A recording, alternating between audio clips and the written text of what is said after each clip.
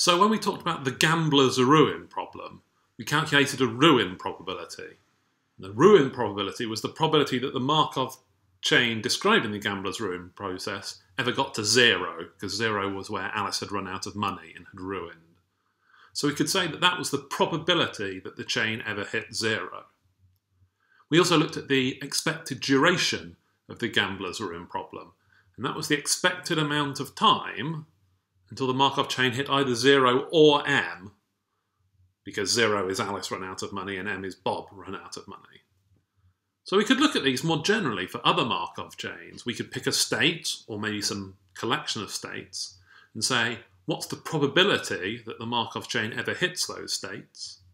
And if it does, we could ask, what's the expected amount of time until it hits that state or that collection of states? Those are hitting probabilities and expected hitting times. So let's start by giving a formal mathematical definition of what that means. Okay, so here's that definition written out in maths. It's quite long, but it's, it's not as painful as it seems. So the first thing we've got is h of capital A is the time it takes to hit some set of states A. Uh, normally, the case that we're interested in is that we're just interested about the time to hit a single state, j, in which case we have that definition, but just in case we sometimes want the bigger definition of hitting a whole group of states. And so we're just saying it's the minimum time such that xn is equal to a, or it's the minimum time such that xn equals j. And uh, if we never hit it, let's just say it's infinity, but it doesn't really matter. And so the hitting probability down here is just the probability that we do hit it, as in the probability it happens for some n, or if we want to write it out smartly, it's the probability that that capital H of A we wrote down above is finite, given that we start from I. So HIA is the probability we hit the set A starting from I. And then we also have the expected hitting time, which is the expected value of that time until we hit I. So how long do we expect it to take? Obviously, if HIA isn't 1, then eta ia is infinite, and vice versa. Only if hi of a is 1 can eta ia be finite, because if we might not ever hit the states in A, then the expected time until it happens is, is certainly infinite.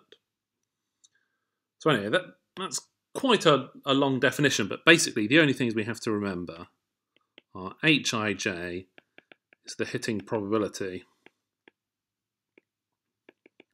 of j from i, as in starting from i, what's the probability you hit j, and eta ij is expected hitting time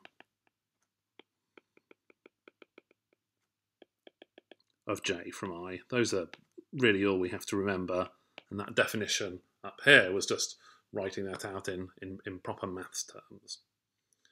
So, how do we calculate expected hitting times and hitting probabilities.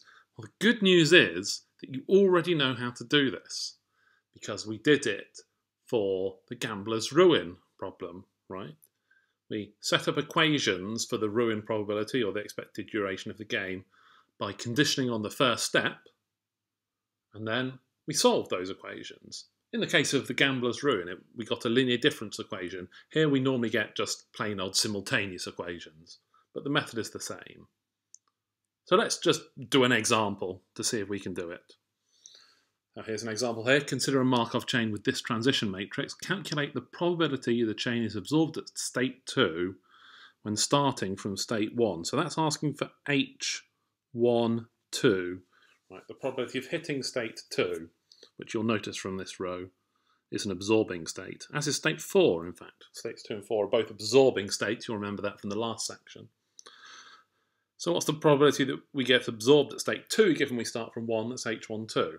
And so what are we going to do? We're going to condition on the first step. So we might go from 1 to 1, that happens with probability of fifth. But then by the Markov property, it's like we're starting again from state 1. And so the hitting time is h1, 2. It might be that we go from 1 to 2, that also happens with probability of fifth. And once we're there, it's like we're starting again from state 2. So it's H22. Again, with probability of fifth, we might go to state 3, in which case the hitting time will be H32 by the Markov property, or we might go to state 4 with probability 2 fifths, in which case we have a hitting time H42 by the Markov property to get back to 2. Okay, so that's an equation for H12, but that's also got an H22, an H32 and an H42 in. So we better put down equations for those as well in order to be able to solve this equation. So what can we say about those? Well, H22, what's the probability we hit 2 given we're at 2? Well, we're already there, aren't we? So that, that that's certain. So H22 is 1. Uh, H42 we can also do straight away, because H42 we saw from uh, up here is an absorbing state. So once we hit 4, we stay at 4 forever. So given that we start at 4, the probability we hit 2 is 0 because uh, we're absorbed at 4.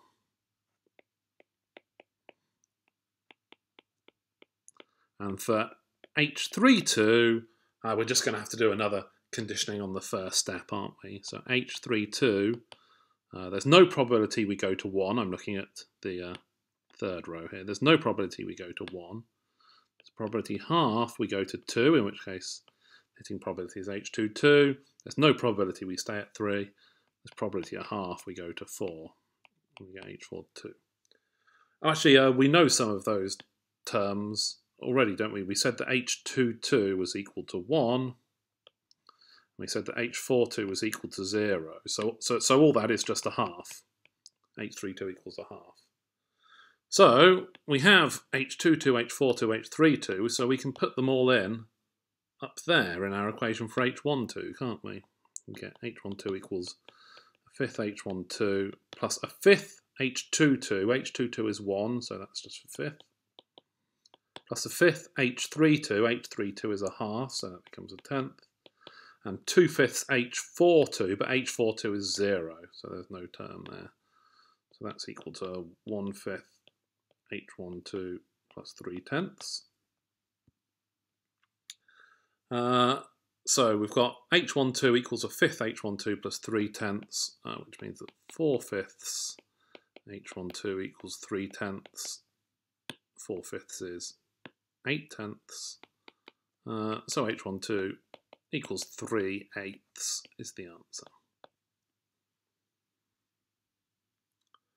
So, it was just condition on the first step to find equations, solve those simultaneous equations. So just to write that out. To find Hij, we set up equations for all the hitting times to j. So that's all the kind of hkj from anything from j, not just the hij we want, but all the other ones as well. Uh, and we got those equations by conditioning on the first step because that's the only thing we know how to do in this course. Everything comes down to conditioning on the first step. And then solve the equations. They're normally simultaneous equations.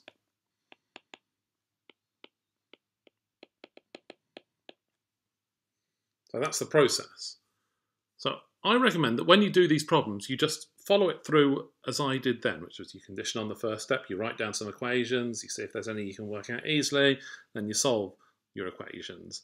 But if you did want a general formula, I guess we can work out what that should be, although I don't really recommend using it. I guess the general formula for an HI A, let's put in the full, a full set there, so one thing we said was that if you're already there, so if I is in A, well, you're already there, so the hitting probability is 1. Whereas if you're not already there, if I is not in A, you're going to have to condition on the first step. So you sum over all the possible first steps J, which has probability Pij, and then it's the hitting time from J to A. So that is the general formula, but I don't recommend that you either learn that or use it. I recommend that you use the process we did in this example. Um, I did want to mention one fact that we're not going to prove here, but it, it is sometimes a useful fact, and it will be useful later. This section is uh, if this equation above has multiple solutions Obviously, in our example, we were lucky. We only had one possible solution. But sometimes you can come up with funny cases where you get multiple solutions. And if that does happen to happen, uh, it turns out you want the smallest non-negative one.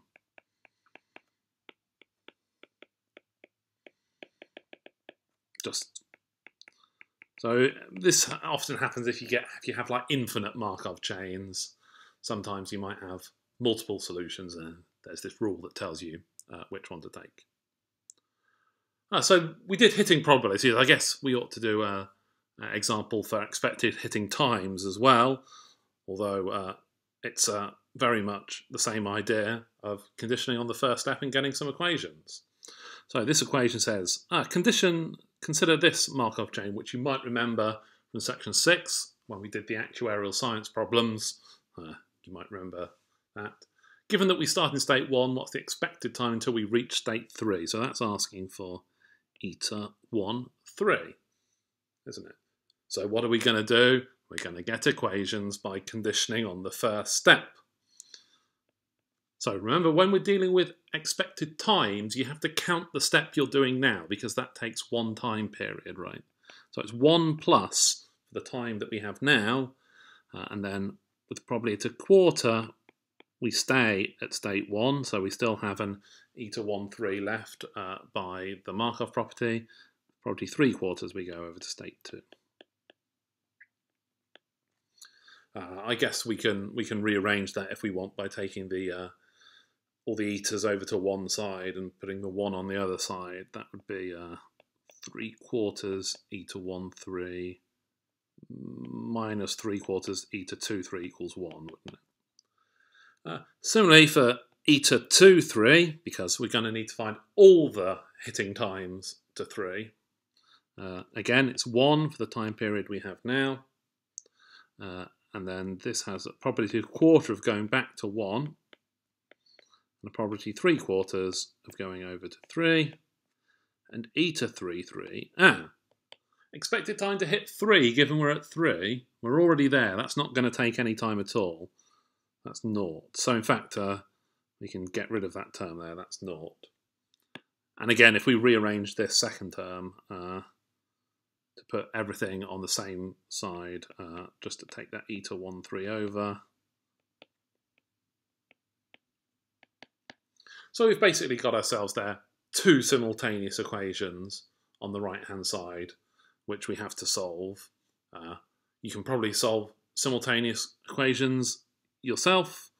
Uh, I'll call that one equation 1, that one equation 2, and I'll take uh, 3 quarters of equation uh, 1, and I'll add it.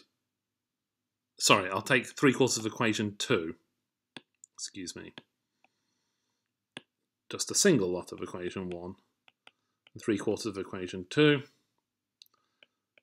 because uh, that will cancel out my eta 2, 3. Sorry, I've got a typo there. That should be eta 2, 3 over there.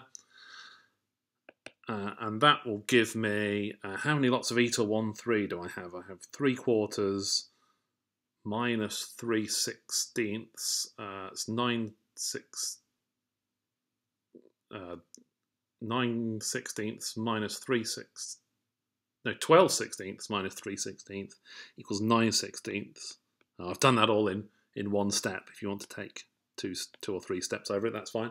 Lots of eta 1, 3, and I set this up so that my eta 2, 3s would cancel. And that's equal to uh, 1 plus 3 quarters, which equals 7 quarters. Uh, or in another term, 28 sixteenths. So I guess I get eta 1, 3 equals 28 over 9, which is a bit bigger than 3. Uh, I went through that perhaps more briefly and brusquely than I ought to have done. It's perfectly fine to take four or five lines of equations to solve your simultaneous equations, but you probably don't need me to make a video of solving simultaneous equations for you because we've all been doing those since we were in junior school. Uh, so again, that was the same procedure, right? We set up equations by conditioning on the first step, and then we solve those simultaneous equations. Again, I recommend you do it like this, but if you do want a general formula, I don't recommend using it. But we can probably work out what it's going to be, isn't it? E to IA is, well, if we're already in A, then the time to hit it is zero. We're not already in A, then we need to condition on the first step, and we have one plus, because we always have to remember the step that we take now when doing hitting times.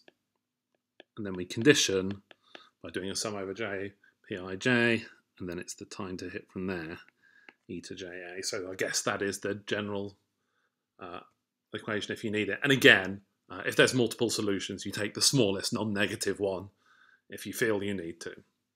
So that's hitting times, condition on the first step, solve some equations. You already know how to do it because we did it for the gambler's ruin.